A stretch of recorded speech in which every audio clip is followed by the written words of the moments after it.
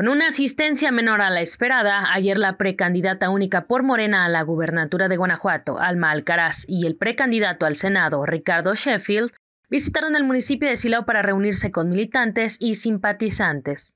El evento se llevó a cabo en conocido hotel de la ciudad y comenzó cerca de una hora más tarde de lo que se tenía previsto, ante una evidente y reducida asistencia de personas que llegaron a bordo de autobuses que fueron estacionados bajo el puente de la carretera federal 45 a la altura de la antigua ladrillera. Durante su discurso, Alma Alcaraz criticó el trabajo que han realizado los titulares de la Fiscalía General del Estado y de la Secretaría de Seguridad Pública del Estado.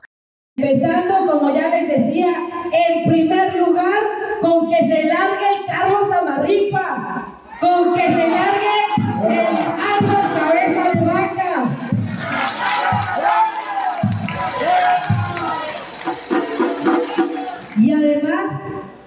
con que haya más policías, con que podamos tener por lo menos lo que nos marca el estándar nacional. ¿Cuánto nos marca el estándar nacional? 11 mil policías estatales. ¿Y cuántos tenemos?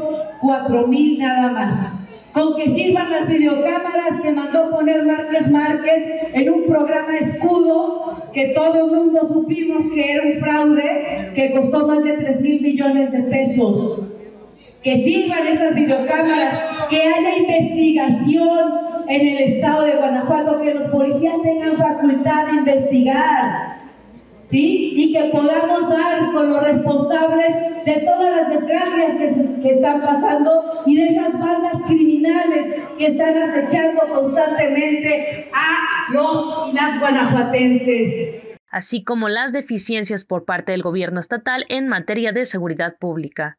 También estuvieron presentes integrantes de la dirigencia estatal de esta institución política, así como empleados y funcionarios públicos tanto del gobierno municipal de Silao como del Congreso del Estado, entre ellos el alcalde Carlos García Villaseñor y el diputado local Ernesto Millán Soberanes. Informó para Al Filo de la Noticia, Carla Silva.